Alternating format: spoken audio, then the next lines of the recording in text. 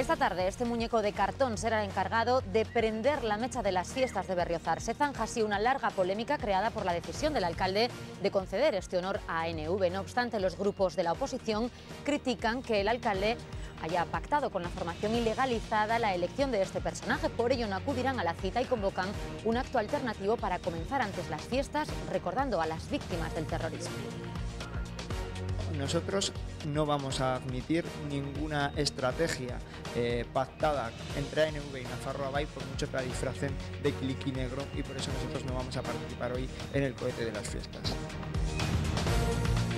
La psicosis por la crisis llega también a los trabajadores que mantienen su empleo. Una encuesta de ADECO revela que el 60% de los trabajadores cree que su empresa realizará despidos en los próximos meses y un 14% se encuentra desmotivado por la situación.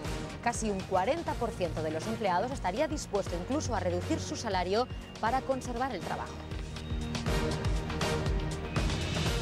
Mujer joven es uno de los perfiles del mileurista. El 46% de los trabajadores navarros cobran en torno o menos de 1.000 euros. Es un porcentaje menor al del conjunto del Estado, con un 63% de mileuristas, pero podríamos decir que casi la mitad de los trabajadores cobra en Navarra un salario que obliga a privarse de muchas cosas. Hoy veremos cuáles.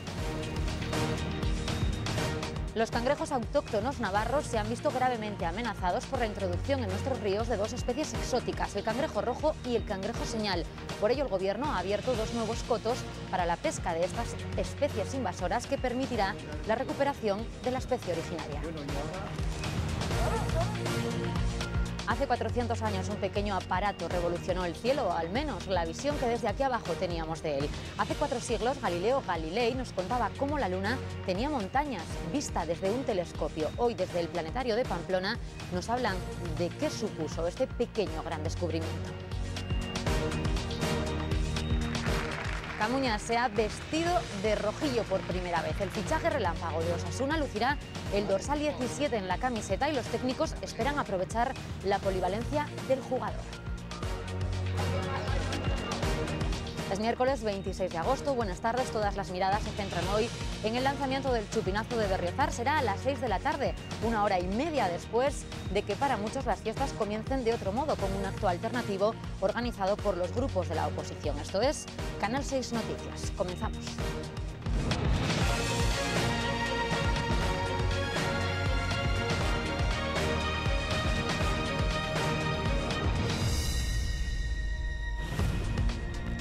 Noticias de Navarra en Canal 6 con Vera Villafranca.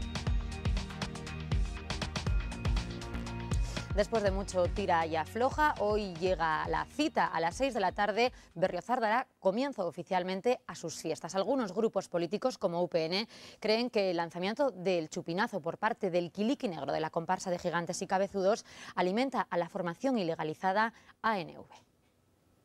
A las 6 de la tarde este personaje, el Kiliki Negro, será quien prenda oficialmente la mecha del cohete.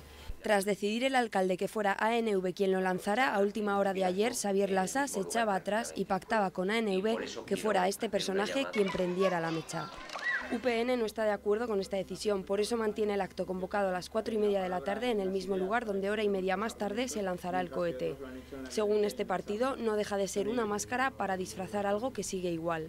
Nosotros no vamos a admitir ninguna estrategia eh, pactada entre ANV y Nafarroa Bay por mucho que la disfracen de cliqui negro y por eso nosotros no vamos a participar hoy en el cohete de las fiestas. Que hay que recordar que ANV ya hace una semana dijo que el cohete o lo tirarían ellos o se lo cederían a un colectivo. UPN no acudirá a ningún acto oficial de las fiestas por decisión del propio partido. Por supuesto que nuestros votantes y la gente que simpatiza con UPN va a disfrutar de las fiestas en total libertad. Queremos que sean unas fiestas para todos, queremos que las fiestas se desarrollen en paz y en libertad y nosotros vamos a participar. Lo que no vamos a ir es ni al cohete ni mañana a un acto que se celebra por parte del ayuntamiento, pero a todo lo demás participaremos con absoluta normalidad. La polémica que se ha creado a raíz del lanzamiento del chupinazo ha empañado los días previos a las fiestas de Berriozar, que esperemos que empiecen y acaben de la mejor manera posible.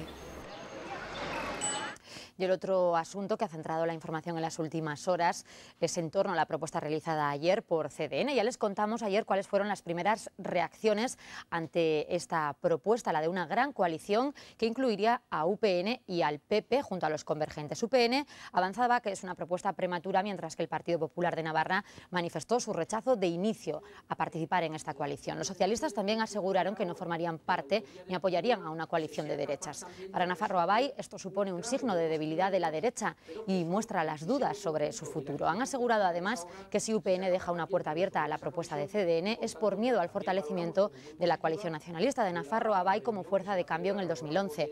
Por su parte, Izquierda Unida de Navarra dice que Convergencia busca crear un frente contra el nacionalismo y añade que la propuesta no les interesa. Eh,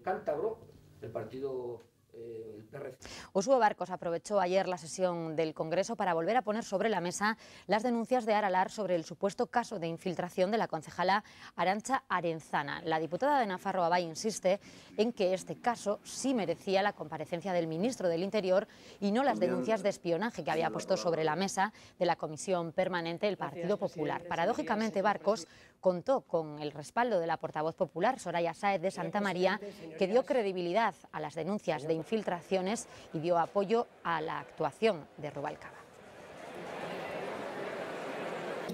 Navarra vuelve a sufrir más ataques fascistas a lo largo de las últimas horas. El último escenario ha sido, lo van a ver enseguida, el cementerio de la localidad de Berrio Plano. En sus muros exteriores han aparecido pintadas contra las víctimas del franquismo y otras de contenido fascista en las que pueden leerse frases como Arriba España o Rojos no. Aralar ha acusado a UPN, PSN y el Partido Popular de dar la cobertura ideológica a la falange, mientras que Izquierda Unida ha instado a las instituciones a condenar los ataques contra la memoria histórica. Hoy hemos sabido que la alcaldesa de Pamplona, Yolanda Barcina, ha retenido ya la subvención económica de las peñas San Fermín y Armonía Chantreana de la capital. La retención de pago se trata de una medida provisional hasta que se resuelva el pronunciamiento judicial al que se enfrentan estas dos peñas. Les recordamos que los pasados Sanfermines ambas peñas exhibieron unas pancartas que podrían haber incurrido presuntamente en un delito de enaltecimiento del terrorismo al mostrar un mensaje de bienvenida o apoyo a varios terroristas de ETA, según el informe de la Policía Municipal de Pamplona. Esta mañana el ministro del Interior, Alfredo Pérez Rubalcaba, visitaba París para reunirse con su homólogo francés. Ambos han cifrado en 12 los zulos de ETA encontrados hasta la fecha en la última operación contra la banda terrorista en el país galo, aunque no descartan que en las próximas horas puedan descubrirse nuevos escondites. Puede haber nuevos zulos, ha dicho el ministro del Interior, porque la operación sigue abierta. Unas declaraciones que ofrecía en la rueda de prensa tras el encuentro que ha mantenido con su homólogo francés. También se han cifrado en 12 los escondites de armas y explosivos por parte del Ministerio del Interior francés, aunque desde allí han expresado su convencimiento de que la lista va a completarse en las próximas horas o en los próximos días. Además, han añadido que muestran que había iniciativa en curso por parte de la banda terrorista, preparación de algunos atentados y que no deben subestimar la capacidad de ETA ni su voluntad de matar.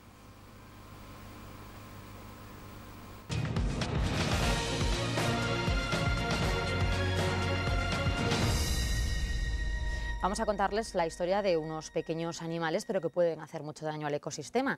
Les presentamos a los principales culpables, el cangrejo señal y el cangrejo rojo. Son los nombres de la peligrosa situación, de los cangrejos que crean la peligrosa situación que atraviesa nuestro cangrejo, el autóctono de Navarra. Con la apertura de dos nuevos cotos de pesca para capturar a estos cangrejos exóticos en Sorauren y en Yesa, el gobierno de Navarra quiere aumentar las colonias del cangrejo autóctono, que apenas llegan a 70.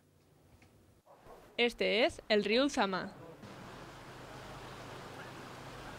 Y este es un cangrejo señal.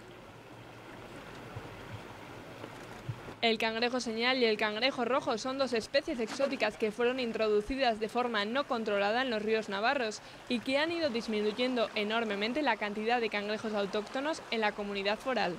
La consejera de Desarrollo Rural y Medio Ambiente, Begoña Sanzferro, ha visitado el nuevo coto de Sorauren, que junto con el de Yesa intentan facilitar el control de los cangrejos señal y facilitar así la recuperación de la especie autóctona. El cangrejo señal, tanto como el, el rojo, son especies que vinieron en su día alrededor de los 80 de fuera y que provocaron, que provocaron a través de la transmisión de, una enfermedad, provocaron bueno, pues que el cangrejo autóctono eh, fuera cayendo, fuera muriendo. El hecho de que los nuevos cotos abiertos hoy se sitúen en la zona de recuperación del cangrejo autóctono obliga a tomar una serie de medidas adicionales. Tras la pesca del cangrejo será obligatorio asegurar su inviabilidad por medio de la muerte directa por rotura de la aleta central, que se conoce comúnmente como capado, o diferida por incisión o agujereado del caparazón con punzón. Le cogen la cabeza, se le mete un punzón y, eh, y se queda vivo durante 24 a 36 horas sin perder las, sus cualidades culinarias. Y la forma tradicional siempre ha sido capándolos. El problema del capao es que le quitas todo el saco vitalino de lo que es el cuerpo y ahí pierde los jugos y, en dos, tres horas pierde bastante lo que es el, el, poder culinario. ¿no? De este modo se garantiza que los crustáceos pescados no puedan ser introducidos vivos en ningún otro tramo del río donde podrían afectar a las especies autóctonas. Pues ojalá mejore la situación. Esta semana se han cumplido 400 años desde que se descubrió uno de los inventos más revolucionarios del siglo XVII, el telescopio. El hallazgo siempre ha estado asociado a Galileo Galilei, pero dicen que no fue él quien lo inventó.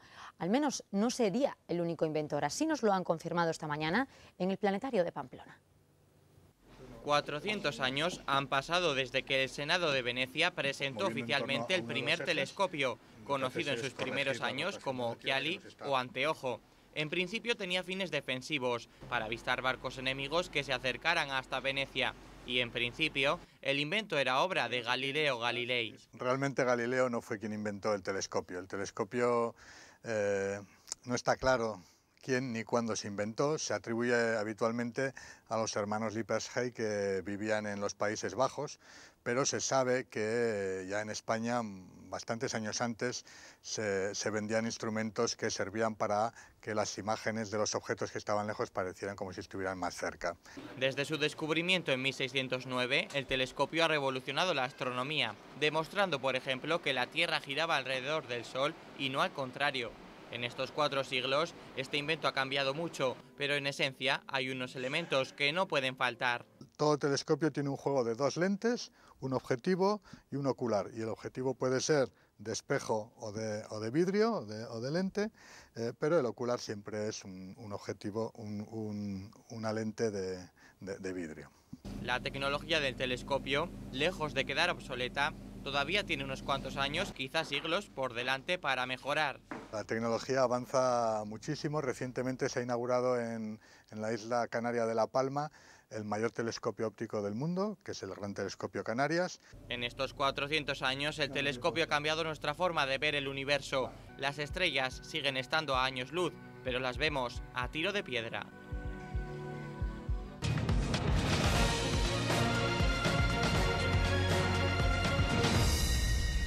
Muchos han aparcado durante las vacaciones la psicosis por la crisis y al volver se han encontrado algún dato económico positivo. Hoy hemos sabido que las hipotecas van a seguir bajando. El Euribor se sitúa de nuevo este mes en su mínimo histórico. Con las letras más bajas, la preocupación de muchos trabajadores se centra precisamente en eso, en mantener su trabajo. Y es que en periodos de crisis la incertidumbre crece. Según una encuesta realizada por ADECO, el 60% de los trabajadores cree que su empresa realizará despidos pronto.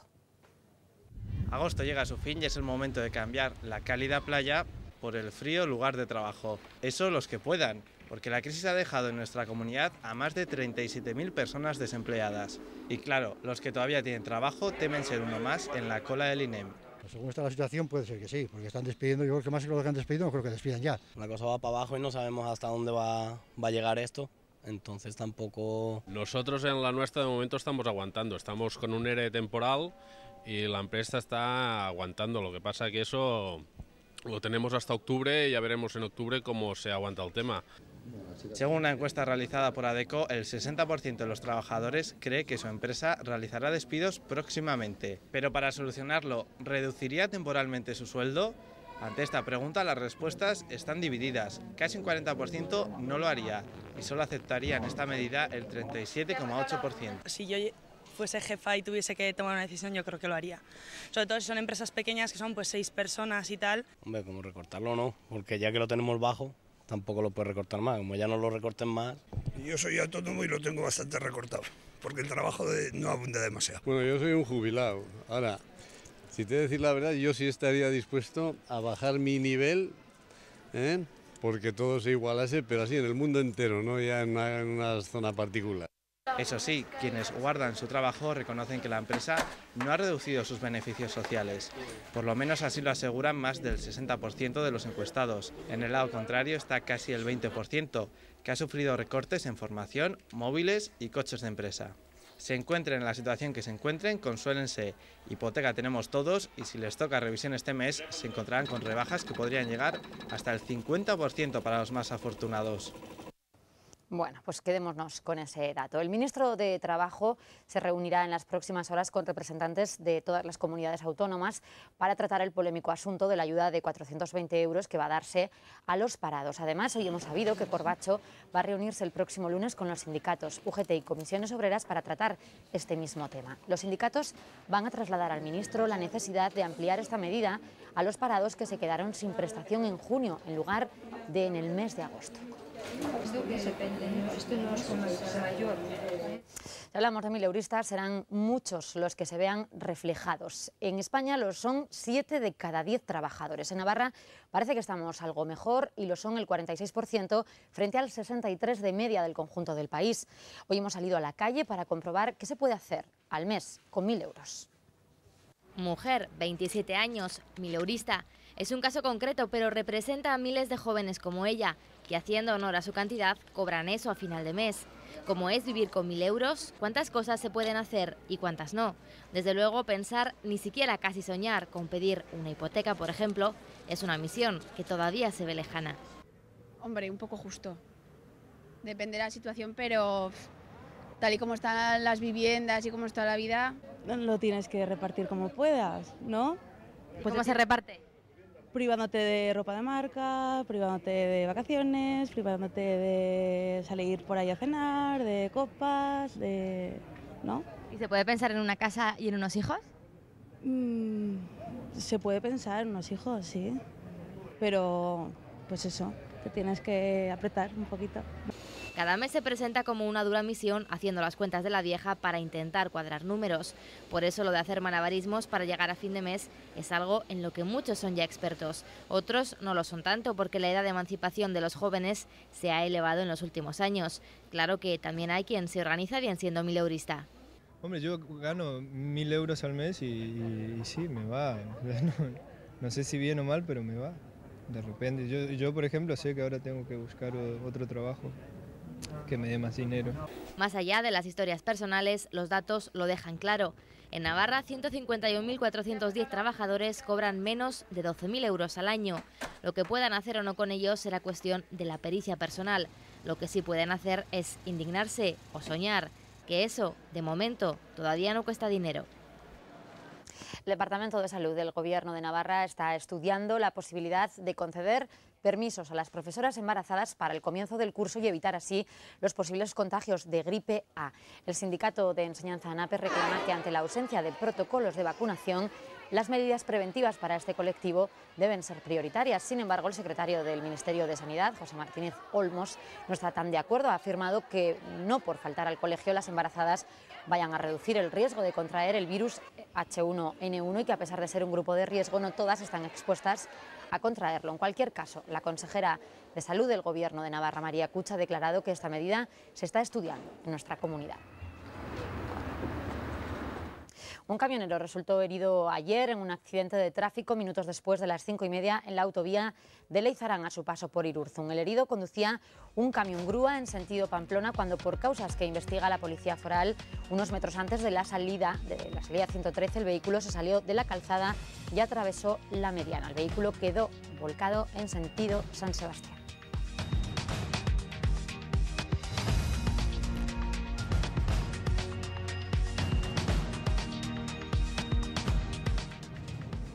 Casarse en la capilla de San Fermín ya no será tan difícil como antes. Se pone fin así a las largas colas, a las listas de espera de pie y a altas horas de la madrugada, todo porque se ha cambiado el sistema.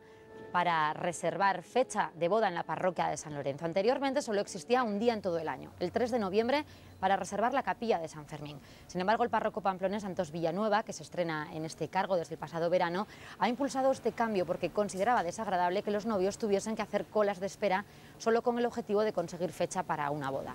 Si se quiere apuntar, paciencia, sepa que hasta 2011 no queda ninguna fecha libre. En unos instantes vamos con los deportes, vamos a ver la presentación de la última incorporación de Osasuna, Javier Camuñas. Además estaremos en Tajonar para ver la sesión de entrenamiento a falta de cinco días para el inicio de la liga. Camacho insiste con sus futbolistas en las jugadas de ataque. El próximo sábado Corella celebrará la fiesta de la vendimia, denominación de origen navarra. Además de una cata dirigida por un minólogo a las ocho y media de la tarde, se ha convocado una curiosa cita, el Campeonato Mundial de Carrera de Toreros.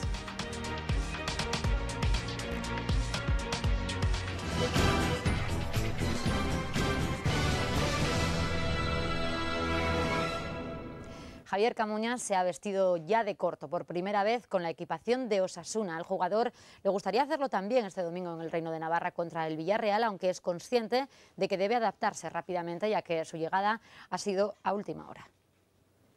Un centenar de personas han jaleado al nuevo fichaje de Osasuna cuando ha puesto un pie en el césped del Reino de Navarra. Se notan las ganas de caras nuevas por parte de la afición. Y de Camuñas se puede decir que es el deseado, puesto que el club navarro ha intentado su contratación desde junio. Para mí es un verano bastante duro. Bueno, para mí, para mi familia, para, para el representante, para todos. Yo creo que ha sido un verano eh, difícil porque, bueno, eh, he estado a punto de, tener firmado en otros equipos y al final, pues bueno, unas, unas cosas otras han ido se ha ido alargando, no, no ha habido entendimiento entre clubes. Javi Camuñas cuando empezó el mercado de verano prácticamente era inviable para los Asuna. Y bueno, pues han ido dando una serie de circunstancias de unos equipos que han tenido cambios internos, otros equipos que han optado por otros jugadores y una serie de circunstancias que nos han llevado a, desde una cierta lejanía, pero sin retirarnos definitivamente, a pues en la última semana tener la opción otra vez de volver a optar al fichaje de Javi. Camuñas se pone desde ya a disposición de Camacho por si quiere utilizarlo en el primer partido de liga, aunque es consciente de que debe adaptarse al técnico, al equipo y al sistema de juego. Físicamente estoy bastante bien porque he entrenado con el equipo con normalidad y he jugado solo dos partidos, que quizá eso te da ritmo, pero, pero yo físicamente no, no, no tengo problemas y a la hora de adaptarme, pues bueno, eh, el vestuario me han hablado magníficamente, el cuerpo técnico también y el club me lo está demostrando en, en, estos 24, en estas 24 horas. Javi, sobre todo, que nos aporte calidad, que nos aporte polivalencia y ojalá también que tenga la suerte que tuvo el año pasado de Caragol, porque sin ser un, un centro delantero consiguió una cifra de goles realmente interesante ¿no? para un equipo de la parte media-baja de la tabla. Camuñas ha fichado por tres temporadas con opción a una cuarta. La cláusula de rescisión es de 6 millones de euros y lucirá el número 17, uno de los tres que quedaban libres. Han escuchado al director deportivo del club, que además también ha querido hacer balance de cómo está la plantilla a falta de cinco días para el arranque de la liga. Ha asegurado que hasta el último momento Osasuna va a intentar reforzarse. Para Lorenzo, el nivel del equipo es similar al de la gran mayoría de los conjuntos de primera. Afortunadamente ahora yo creo que la palabra necesidad eh, a lo mejor es un poco, un poco exagerada. Sí que tenemos claro mmm, dónde nos gustaría reforzar la plantilla o, completarla, pero, pero yo creo que a día de hoy, si en vez de ser día 26 de agosto fuese día 1 de septiembre, tampoco nadie se podría echar las manos a la cabeza con respecto a la plantilla que tenemos. ¿no? Creo que hay seis plantillas que juegan a otra cosa y el resto depende de años, de rendimientos individuales, de cómo empieza la temporada. De, eh, yo creo que eh, lo que está claro es que cada vez la diferencia entre seis plantillas y el resto es mayor. Prácticamente hemos estado un mes y medio sin poder hacer nada eh, desde que contratamos a, Calleja y a Carlos Aranda, pero bueno. es un poco el mercado el que va dictaminando en, un momento determinado las posibilidades deportivas y económicas de cada club. A la espera de que esta tarde se incorpore precisamente Camuñas, la plantilla se ha entrenado ya en Tajonar por la mañana con las miras puestas en el próximo domingo a las 5 de la tarde. Camacho ha vuelto a insistir en las jugadas de ataque. Los partidos de la pretemporada han demostrado que los rojillos siguen con problemas de cara al marco rival y el técnico ha probado con variantes de ataque en la que se involucra al mayor número posible de jugadores. En los ejercicios se han visto muchas combinaciones al primer toque con aperturas a banda para intentar remates en oleada. Los únicos que no han participado en el entrenamiento han sido Daddy, Juanfran y Del Port. Ingeniería. Dícese del conjunto de conocimientos y técnicas para resolver problemas que afectan a la humanidad. Ingenio para un mundo mejor. Iberdrola.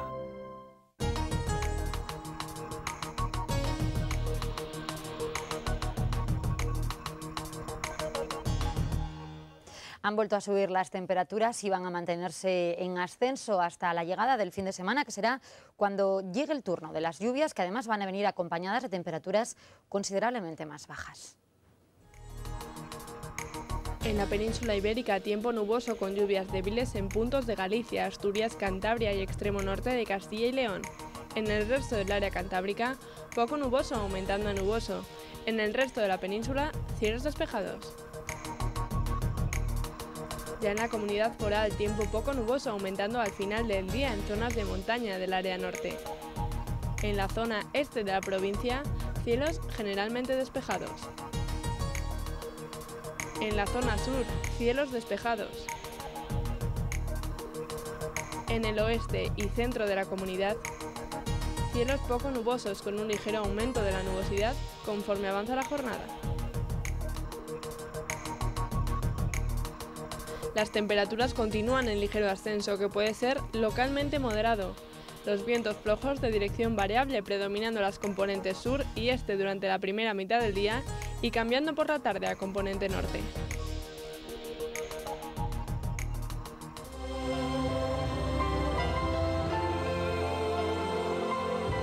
Un objetivo.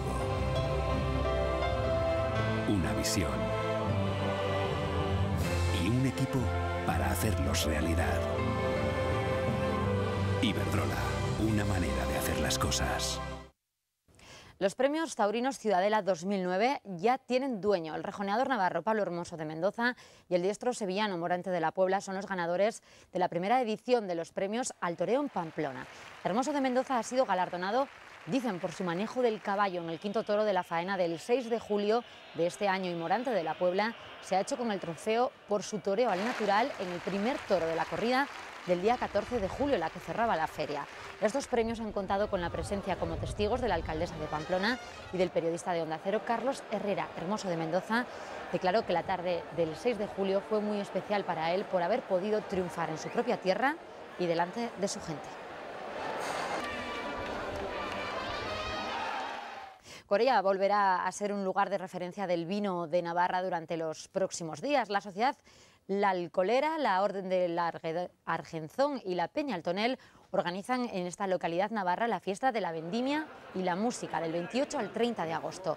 Las catas de vino serán el centro del evento donde también van a visitarse las bodegas de la localidad y van a realizarse catas acompañadas de chistorrada. Destaca el acto del Campeonato Mundial de Toneles que tendrá lugar, carrera de toneles, que tendrá lugar el 29 de agosto en la Plaza de los Fueros de la misma ciudad. La prueba pretende dar a conocer una labor que se realizaba en las bodegas como el desplazamiento de los toneles.